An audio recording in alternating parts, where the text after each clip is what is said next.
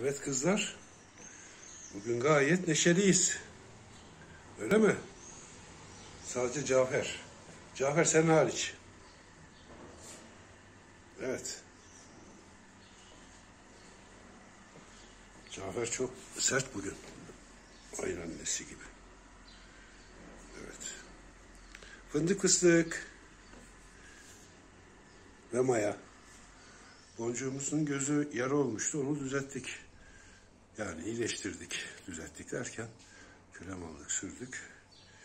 Şimdi gayet iyi gözünde bir sıkıntı kalmadı.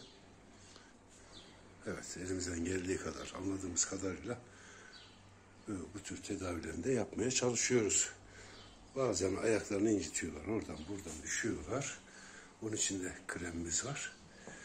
Kas gevşetici. Tabi boncuk. Boncuğun gözü çok kötüydü. Kapanmıştı tamamı.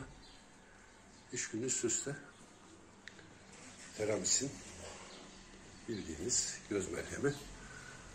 Ondan sürdüm. Evet.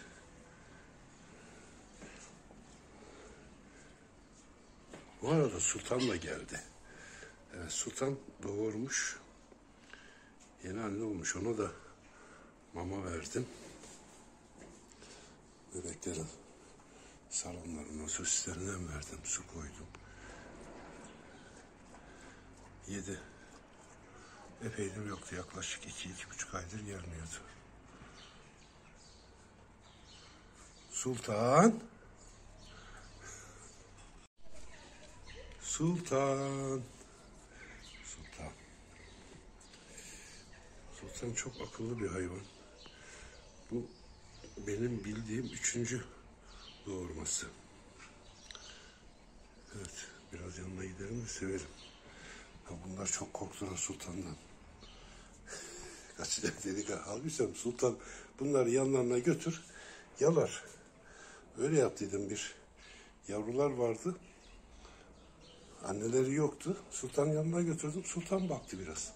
Birkaç gün. Sultan öyle bir köpek. Güzel kızım benim. Yavruların nerede senin kızım? Ha? Nerede yavrular?